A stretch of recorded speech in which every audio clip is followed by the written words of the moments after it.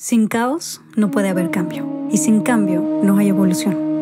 Juntos exploraremos cómo transformar la incertidumbre, el dolor y la incomodidad en la magia que intuitivamente sabemos que es posible para nuestras vidas.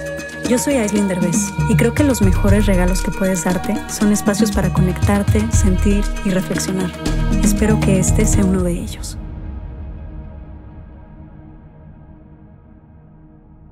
Hola Elisa, oye, Estoy muy emocionada de tenerte otra vez aquí en el podcast porque, bueno, ahora sí vamos a hablar de un tema que también me parece sumamente importante, que es el sueño de los bebés y los papás, sobre todo los papás primerizos, ¿no? Claro.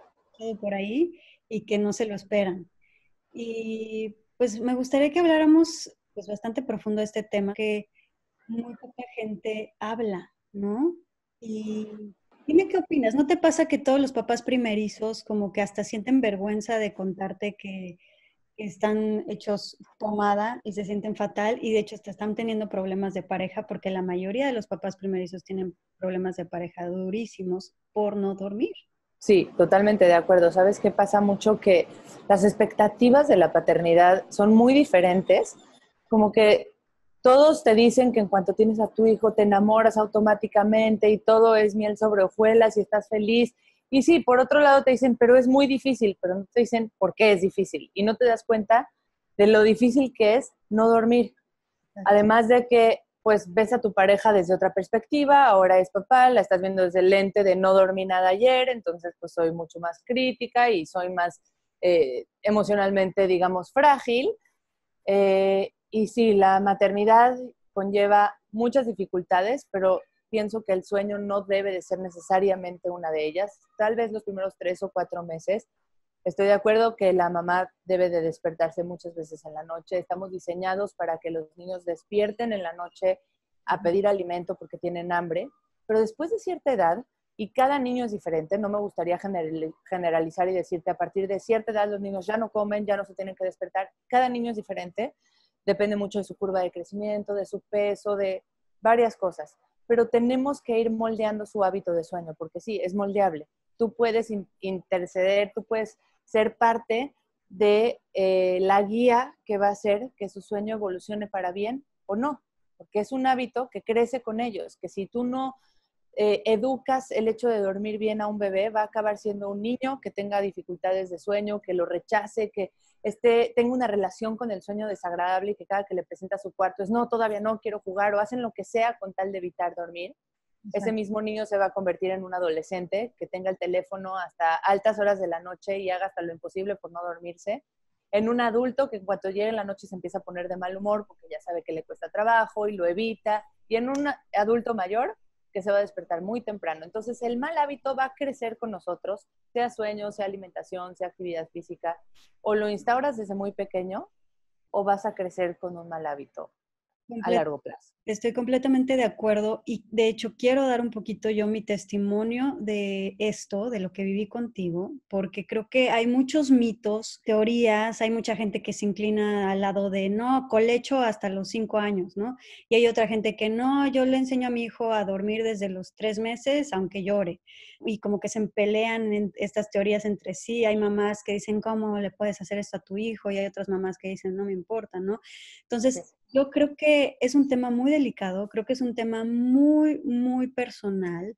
Muy, personal. Hay, hay mamás que aman el colecho, que aman dormir con sus hijos hasta quién sabe qué edad, es súper respetable. Hay otras mamás que a mí me pasó que yo dormía con, con, mi bebé, pero mi bebé por alguna razón no le funcionaba mucho el colecho, ¿no? Entonces tenía su cunita al lado de la cama pero dormir en la misma cama por alguna razón como que siempre se nos dificultó. Además de que yo sí era de esas mamás que dicen, yo prefiero tener mi espacio en mi cama. Yo lo que pienso, tienes toda la razón y creo que hay que respetar todas las corrientes. Creo que eh, cada mamá decide si quiere hacer colecho con su hijo, si quiere dormir en su mismo cuarto, si lo quiere pasar a otro cuarto, mientras estemos hablando de un tema seguro, que no amenace, que no arriesgue la vida de nadie, la seguridad de nadie pienso que tenemos que tener la apertura de aceptar que hay mamás que quieren, hay mamás que no quieren, y ninguna de las dos corrientes está bien o mal. Creo que en aceptar las diferencias de los pensamientos de las otras personas está la paz de verdad en el mundo. O sea, si empezáramos por la maternidad y por respetar que hay diferentes corrientes, que además yo estudié la otra corriente, estudié la corriente en contra del entrenamiento de sueño, me metí mucho a ese tema, porque yo decía, también es muy fuerte, ¿qué, argumentan del otro lado? Y me estudié las dos, una de neurociencias del sueño en contra del entrenamiento y de moldear, digamos, del, entrenamiento de los métodos de sueño y otra a favor. Y con eso hice mi propia mezcla en donde yo decidí que yo me voy a adaptar a lo que una mamá quiere en su filosofía de maternidad y a tratar de guiarla un poquito en cuánto debería de dormir su hijo, eh, cómo debería dormir. La calidad de sueño no es negociable. Finalmente, si tú quieres hacer colecho, no tiene que tener calidad de sueño en la circunstancia en la que estés. Exacto. Eso me pasó contigo porque yo soy una mamá que, bueno, me la pasé estudiando todo mi embarazo y todo mi posparto sobre cómo ser la mamá consciente, eh, sobre crianza consciente, apego, eh, apego muy, pues, positivo. O sea, como que sí estudié muchísimo eh, todos estos temas y por supuesto, por lo mismo, yo no quise tener ningún tipo de sleep coach ni nada y pues ya cuando ya caí tenía 10 meses y yo me estaba volviendo loca, ahí fue cuando dije, es que algo no está bien, porque necesito saber si estoy haciendo algo mal o de verdad todas las mamás pasamos por ahí porque ni con colecho, ni sin colecho, ni nada, o sea, mi bebé nada más no está pudiendo dormir, yo tampoco, eh, etcétera. Entonces, a mí sí me cambió la vida cuando te conocí. El vínculo que tú estás tratando de formar desde que nace tu bebé, que algunas personas lo sentirán en el momento en el que cargan a su bebé, otras lo sentirán en el momento en que lo pegan al pecho, otras les costará más trabajo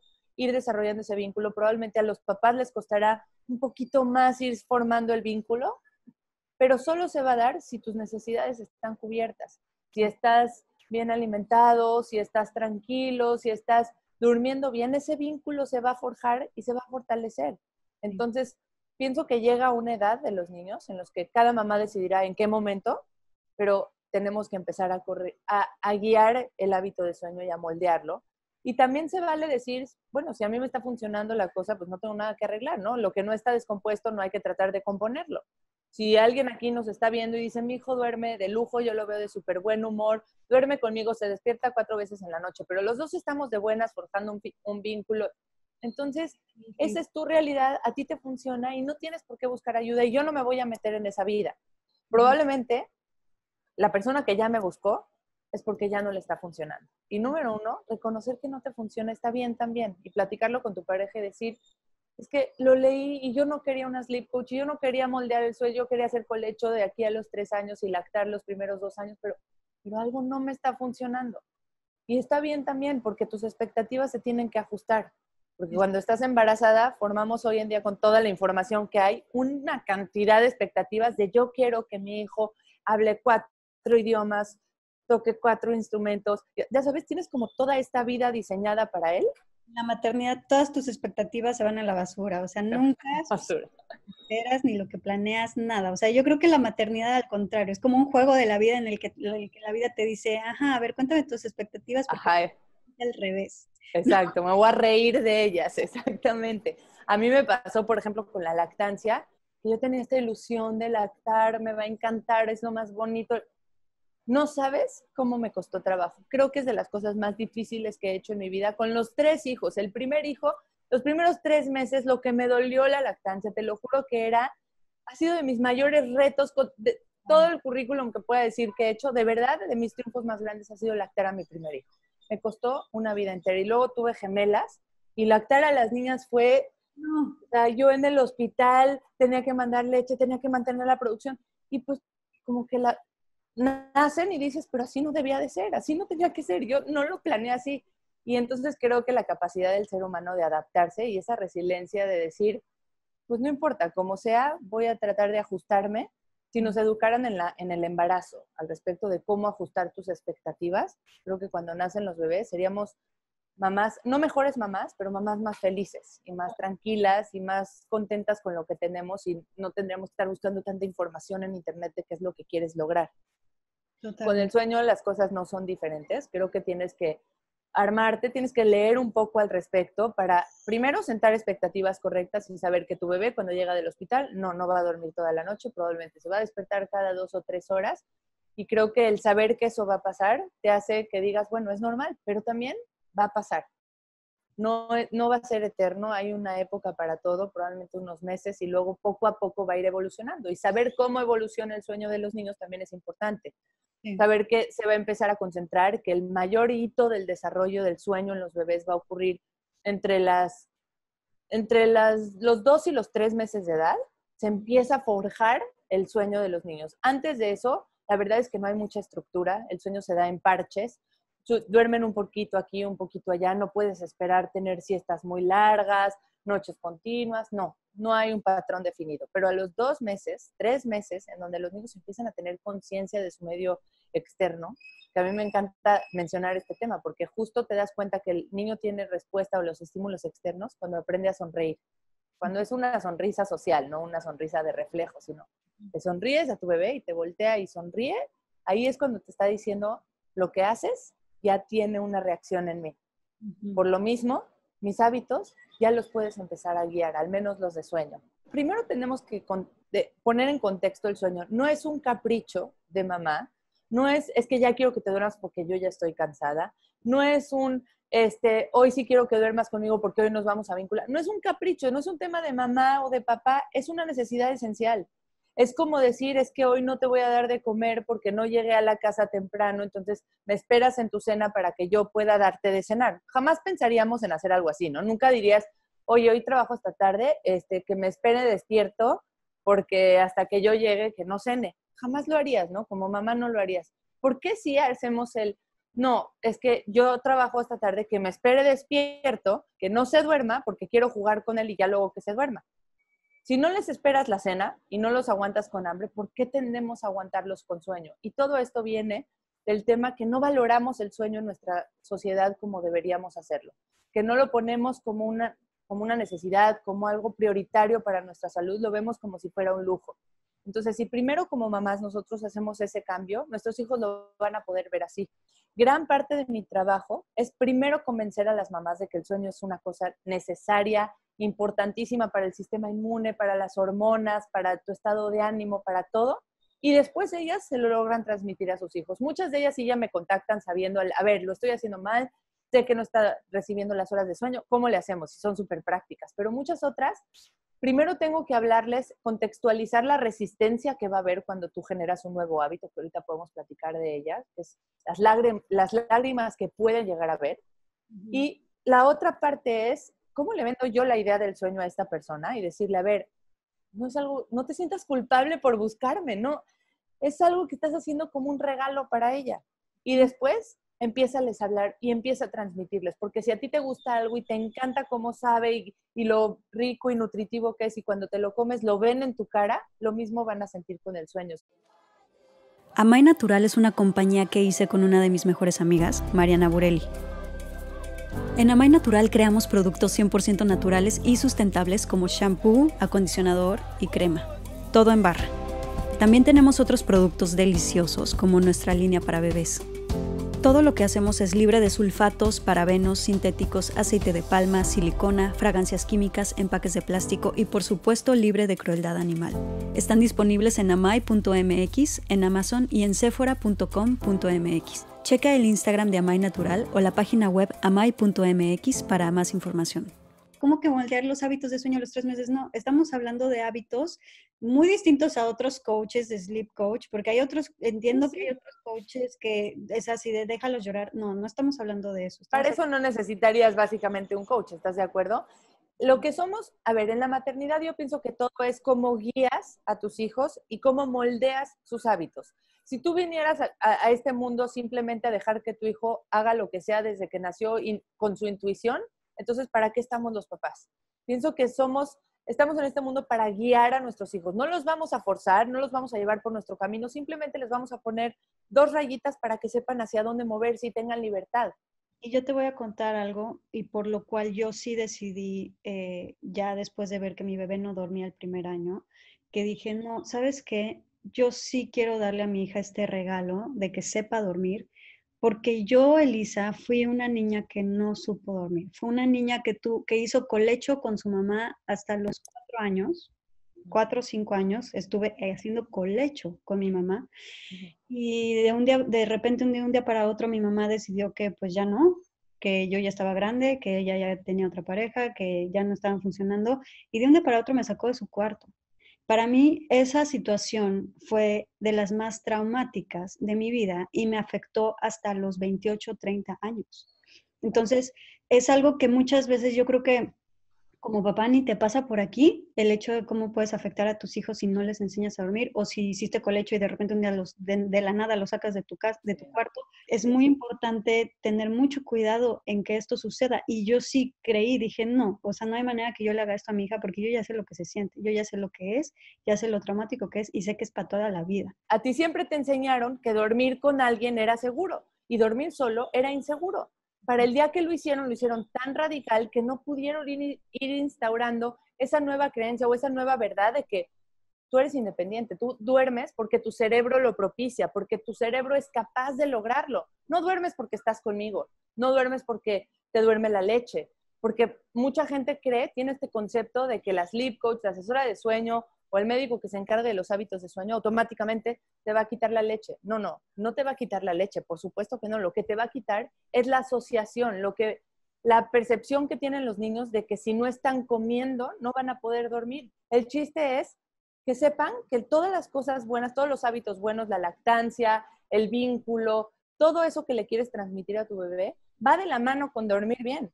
Es parte del mismo triángulo, ¿no? El triángulo de la alimentación, el vínculo y el sueño van de la mano. Si alguna de estas vertientes se ve afectada, las otras dos se van a alterar y se va a perder un equilibrio.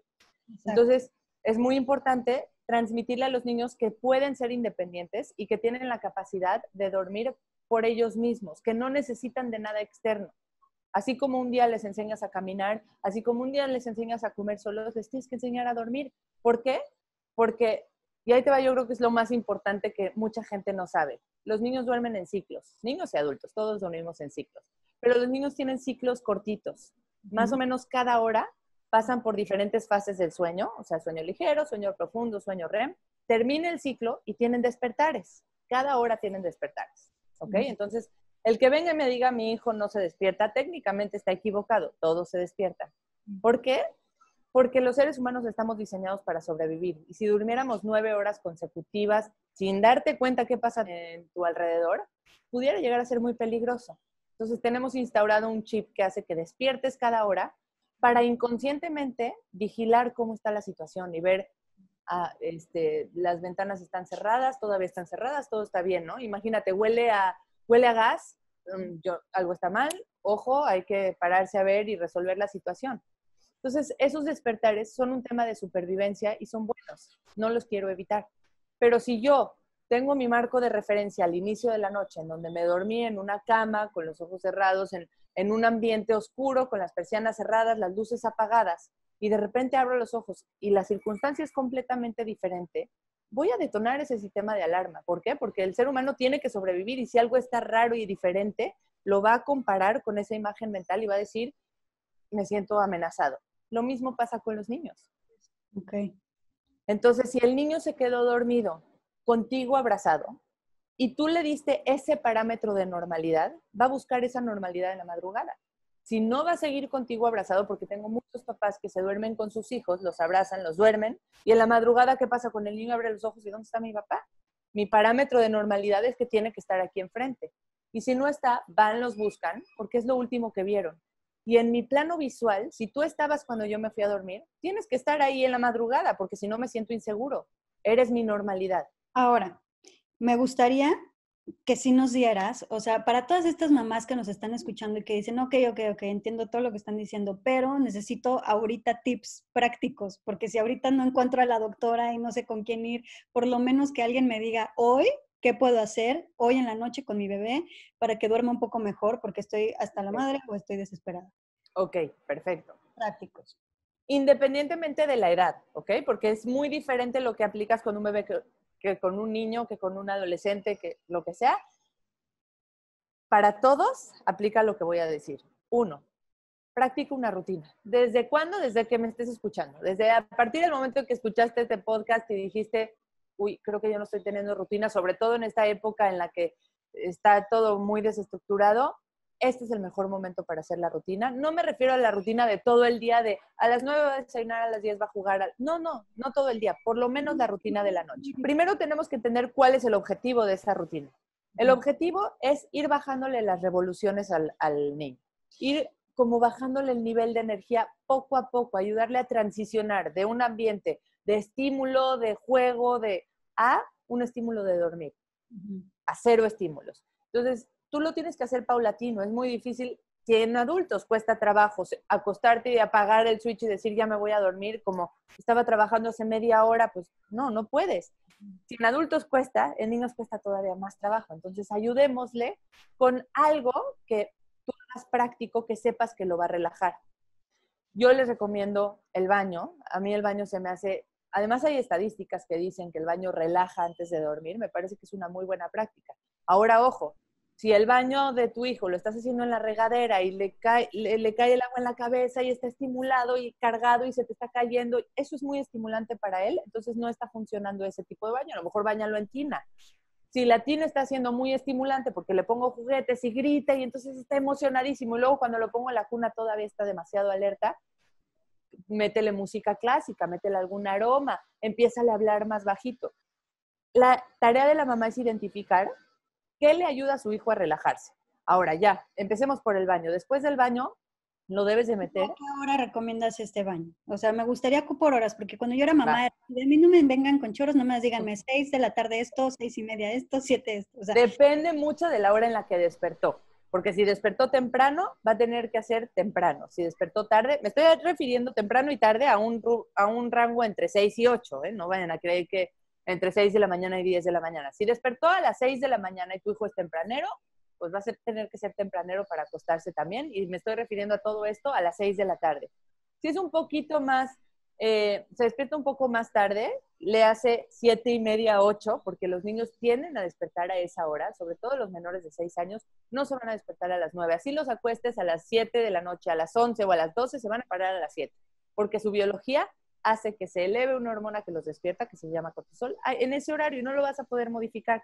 Lo mejor que puedes hacer es acostarlos temprano para que logren las horas totales de sueño que necesitan. ¿Qué hora es ideal para que un bebé se vaya a dormir? Entre 6 de la tarde y 8 de la noche. Y el mito más grande que hay, además de que entre más los cansas, más duermen, que no es cierto, es si les cambias la leche materna por fórmula, o si les das la leche en botella, van a dormir más porque el estómago va a estar más lleno. No, Totalmente falso.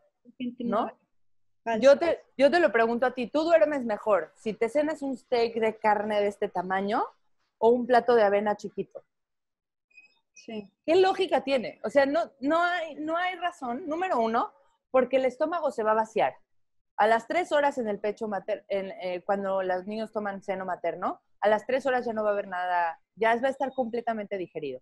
La fórmula, pon tú que tarda un poquito más, tarda cuatro horas. De todas maneras, va a estar digerida, se va a ir. Si fuera cierto, todos los niños todo el tiempo despertarían cada cuatro horas a comer y no es verdad. El sueño no es un tema de la digestión, no es un tema del estómago lleno o no, es un tema neurológico, es un tema más del cerebro que del estómago. Cuando lo entendemos así, empezamos a soltar la idea de que entre más lo lleno, más duerme, porque no es verdad. Además, mucha gente, acabo rescatando muchas lactancias de mamás desesperadas diciéndome, es que ya le voy a dejar de dar pecho porque con eso ya va a dormir toda la noche. Y les digo, por favor, no, no va a pasar. Si tuvieras la cantidad de mamás que tengo que sus hijos toman fórmula y aún así se paran mil veces en la noche, al revés, tu leche le va, le va a pasar melatonina, que es la hormona de sueño, le va a pasar ácidos grasos, le va a pasar muchas cosas que le ayudan a dormir mejor. No le quites tu leche por nada del mundo, ese no es el tema. Que el hecho de quitar la leche no depende de, número uno, el consejo de su pediatra. No cualquier niño puede hacerlo. Aquí, en este caso, yo soy médico, yo tengo la capacidad de identificar si el niño necesita las tomas o no las necesita por su peso, por su curva de crecimiento, por cómo ha evolucionado. Si necesitas el consejo de un médico que respalde el puede quitar las tomas o no. O sea, está en edad de que las quite, su neurodesarrollo va bien, todo bien, ya no las necesita, ok, perfecto. Entonces partimos de ese punto para poderlas quitar. Y número dos, sí creo que eh, el apoyo de papá en este caso puede ser súper importante porque te relaciona a ti con comer. Y es como mucho más difícil con mamá que con papá. A veces se puede, a veces no se puede y entonces también con mamá funcionaría, pero sí, si tenemos eh, a papá involucrado, creo que será más fácil para el niño. Y me gustaría decirte un ejemplo que es claro y que se asocia mucho con dormir. Un día tú decides que tu hija tiene que aprender a comer sola. ¿Estás de acuerdo? A lo mejor una mamá dice, a los ocho meses ya es capaz, otra dice al año, otra dice a los 18 y otra dice hasta los dos años. Pero un día cada mamá dice como que ya debería de comer sola. Ya no le voy a dar en la boca. Ese día, si te tardas mucho en hacerlo, probablemente si la que decidió a los dos años, el hijo va a decir, no, si siempre me has dado, dame tú, y te va a regresar la cuchara y te va a decir, no, dame tú, yo no puedo. Y, en realidad el niño no puede, no, no es que no pueda, es que perdió la confianza en sí mismo para hacerlo. Y entonces cree que mamá es quien lo hace y que sin mamá no va a poder. Y pues como mamá sabe que sí puede, si decidió que lo va a hacer, probablemente va a haber resistencia y el niño va a decir no y a lo mejor va a haber algo de lágrimas y la mamá va a estar con él y le va a decir, estoy contigo, tú puedes, lo vas a lograr. Al niño que lo decidieron a los ocho meses, no sabe que no puede. ¿Por qué? Porque está más chiquito, cree en su potencial y la mamá lo está incitando y lo está haciendo desde muy pequeño. Entonces es muy probable que lo logre más fácil. Pero finalmente, rechace o no rechace, tú sabes que él puede comer solo y que lo va a lograr. Confíen, como confían que comen solo, en que pueden dormir solos. Me encanta, o sea, no, no debería de yo hacer labor de convencimiento porque primero tienen que estar convencidos de que quieren hacerlo y luego buscarme, pero la verdad es que me encanta hacerlo y me encanta decirles, si te tengo que convencer, lo voy a hacer, porque realmente el hecho de que pueda, lo tienes que saber. Puede, él puede. Si puede soltarlo y caminar con el riesgo de que se golpee, ok, pero va a aprender a caminar. Si lo vas a soltar y que coma solo, con el riesgo de que tire todo y haga un batidillo, pues sí, pero que lo haga. Que duerma solo. Puede. Dale chance, dale chance de que, de que confíe en que tú lo vas a cuidar si estás a su lado o si estás en tu cuarto, estás pendiente de él. Y entonces eso creo que da mucha seguridad, mucha confianza y además mucha autoestima. En cualquier hábito que quieras instaurar, ojo, porque si tú estás diciendo una cosa pero haces otra, van a te van a copiar a lo que estás haciendo, no a lo que estás diciendo. Entonces pon atención en que si tú quieres crear algo nuevo en tu hijo, lo tienes que crear primero en ti. Para ser mejor papá tienes que ser mejor persona, no, no tratar solamente de decir cosas, sino realmente perfeccionarlo en ti para que ellos lo vean y lo traten de imitar. Lo mismo pasa con el sueño. Si ellos te escuchan decir, ay, qué rico, ya me voy a ir a dormir, me urge descansar porque al otro día voy a estar más fuerte, voy a estar de mejor humor, eh, que te escuchen hablar bien del sueño, va a hacer que ellos se les antoje más. Eso es exactamente lo que me pasó cuando realmente trabajé en mí misma, en que a mí me dejara de causar angustia la hora de ir a dormir. Claro a ella le dejó de causar angustia también. Exactamente. Era como de, ¿y por qué le estoy pidiendo a ella que se duerma tranquila y que se duerma a fuerza cuando yo estoy súper angustiada de no sé si se va a dormir bien o no y yo estoy angustiada que va a llorar? Entonces dije, no, tengo que cambiarlo primero yo y estar tranquilísima primero yo y a ver cómo le hago para que ella pueda estar tranquila. Y lo mismo en la comida, o sea, muchas veces cuando forzamos a los hijos de tienes que comer y estamos angustiados de que no están comiendo y es que no están comiendo, pues les angustia a ellos también y ellos dejan de comer, ¿no? Que te vean comer y disfrutarlo y ya te copiarán. La es increíble porque empezaste todo, empezaste todo diciendo que a ti no te enseñaron a dormir desde el principio y que lo hicieron demasiado radical de la noche a la mañana sin explicarte. Y muchas veces yo pienso que parte de la trascendencia del ser humano es romper los patrones con los que venimos. Entonces, fíjate qué increíble porque estamos cerrando con la parte de que estás haciendo completamente lo contrario. Y entonces para mí eso ya es una trascendencia. Y lo increíble es que ya aprendimos y en lejos de automatizarlo y decir, como así me hicieron a mí, así voy a hacer contigo, completamente lo contrario, distingo que lo que hicieron conmigo no estuvo bien, lo tuve que transformar primero en mí y ahora que lo transformé en mí, ahora lo transmito hacia ti. Y así ya cambiamos el switch y seguramente la generación de Kai será una, generación mucho más sana y ¿Por qué? Porque nosotros estamos transformando esos hábitos que nos instauraron. Creo que es un tema importantísimo que a muchísimas mamás les va a ayudar y pues ojalá que sigan estos consejos y, hagan lo que sientan. O sea, no se trata de decir que una cosa funciona o, funciona esto o funciona el otro. Se, funciona lo que tú sientes, lo que tú quieres y se vale pedir ayuda y también se vale seguir haciendo lo que estás haciendo. claro, y si algo de esto te resonó y te hace sentido, síguelo y si no, al siguiente, vámonos. Exacto. Muchísimas gracias, Elisa. Gracias por la invitación. Gracias. Bye bye. Ojalá que hayas disfrutado este episodio. Y recuerda que en nuestra página web, lamagia-delcaos.com, puedes encontrar mucha más información de estos temas y de nuestros invitados. Tenemos blog, tienda en línea y material exclusivo para los que se suscriban. Síguenos en todas las redes sociales como arroba la magia del caos. Gracias por darte este espacio con nosotros.